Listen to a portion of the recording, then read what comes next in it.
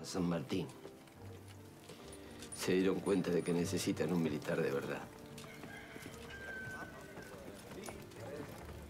Esto es sobre la pieza de artillería y el informe de las tiendas de campaña. Sí.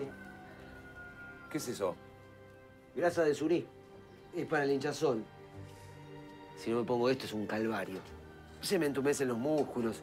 Yo digo que es malaria, pero el médico dice que es otra cosa, no sé. Debe molestar esa cicatriz, ¿no? Uf, no es una caída de Tucumán, es un lindo recuerdo que me traje. ¿Te anda mal del estómago? Sí. Tengo manzanilla si quiere.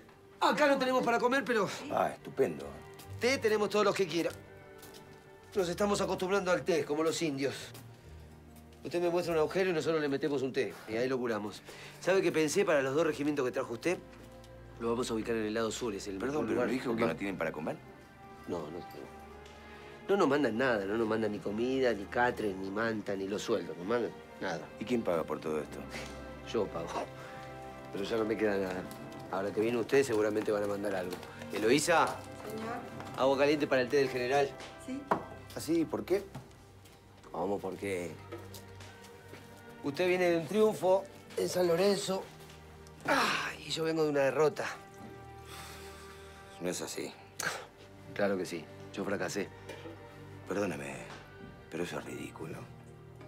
En Vilcapuje de Yoguma yo no hubiese hecho nada diferente. Y nadie va a poder conquistar el Alto Perú por el norte. Ni usted, ni yo, ni Napoleón, ni Julio César. Y Buenos Aires no manda nada y no va a mandar porque gente como usted y yo molestamos. Yo no los voy a molestar más ya. No, moleste, hombre, moleste. Hay que cagarlo bien a palos. ¿Cuántos somos nosotros? ¿Cinco, seis? Cinco o seis que no entiendo. ¿Cuántos hay que verdaderamente entiendan lo que estamos hablando? Ah, no. Cuatro o cinco somos. Ya nadie habla de independencia. La palabra sola les da miedo. Tampoco hablan de repartición de tierras, ni de los derechos de los indios, ni de la abolición de la esclavitud. Ya nadie habla de eso. Vaya a sacarle a los ricos uno solo de los esclavos que tienen. Y son todos iguales. Vaya a pedirle un anillito para la patria, va a ver qué le contesta.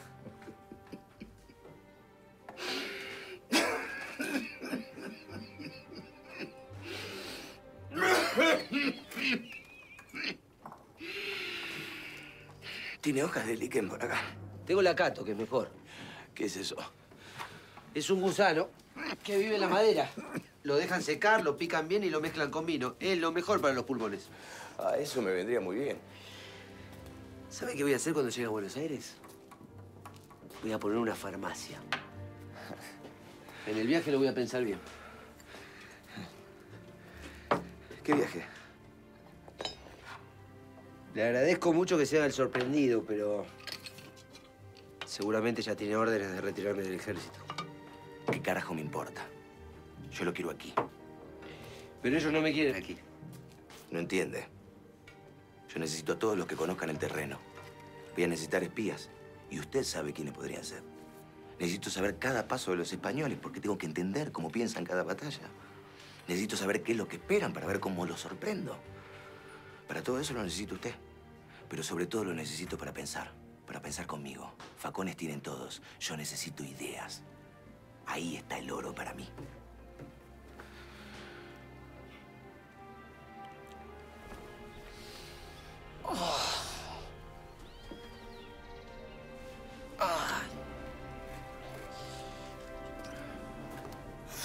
Venga que le doy una mano. Muy amable.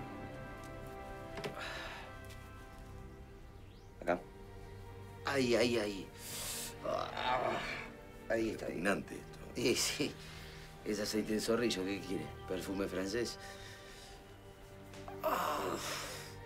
No, no se puede respirar. Sí, a Gracias, ¿Qué le dice el médico de estos mejunjes? Y al principio se burlaba, pero ahora es todo un experto. Se la pasa todo el día mezclando plantas para ver qué sale. Escúcheme, este aceite le va a servir a los pulmones, ¿eh? Se lo tiene que frotar en el pecho. Con esto y eucalipto. Hágame caso. ¿Usted ya lo usó? No, no, yo no. Los pulmones es lo único que tengo sano. Creo. A ver. Pruebe, pruebe. Perdón. Les dejo acá un poco de pan. Muchas gracias. Dolores Delguero hiriendo, El general José de San Martín.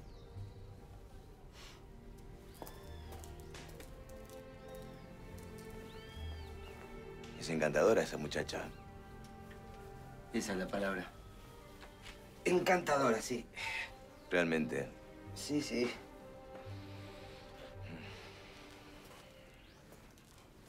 Supe que se casó hace poco. Sí, hace poco más de un año. Ajá.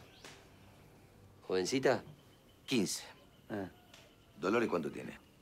16. Ah, Sí, sí. Sí. eh. Es así. Bueno, una razón más para no irse a Buenos Aires, ¿no? Ahora que veo cómo la mira, me parece que no me tengo que mover de acá. ¿Le parece?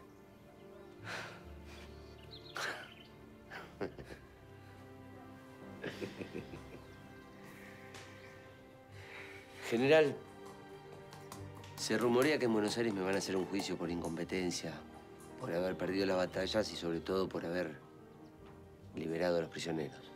Estos volvieron a combatir. Muy pocos. ¿Cuántos fueron? ¿200? ¿300? ¿Usted cree que eso es comparable al efecto que debe haber causado en el Alto Perú? Yo le puedo asegurar que en este momento hay mucha gente pensando en la independencia gracias a usted.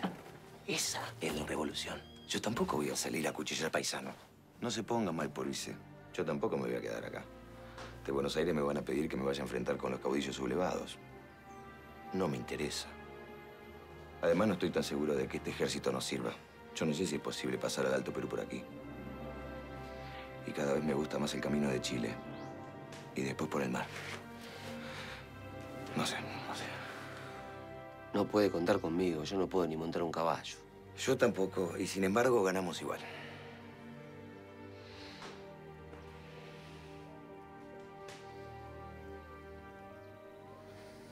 La verdad,